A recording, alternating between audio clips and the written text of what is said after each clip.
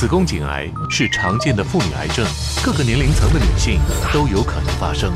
其中以二十五岁到四十五岁的妇女最为常见，但是如果早期发现的话，差不多可以百分之百的治愈。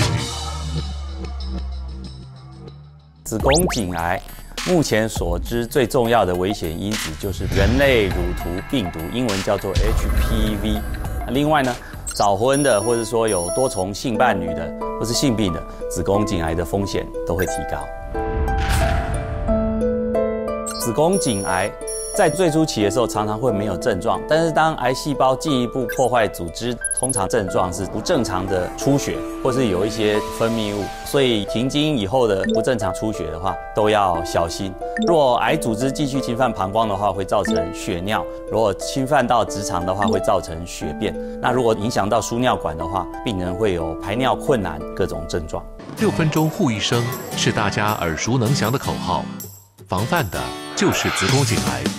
研究显示，定期接受子宫颈膜片检查，可以早期发现癌前病变，降低罹患子宫颈癌的几率达百分之六十到百分之九十。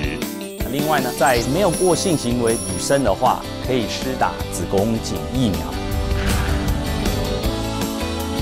一般是建议九到二十六岁没有性行为的跟有性行为都可以施打，但是他做研究里面没有性行为施打效果是最好。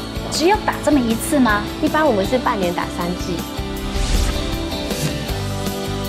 比如说一定要定期做运动，还要早睡，不能熬夜。抽烟的部分也是会降低我们的免疫系统。那这些都可以增加我们免疫系统的，只要努力去进行的话，相信 HPV 病毒就可以很快的消灭掉。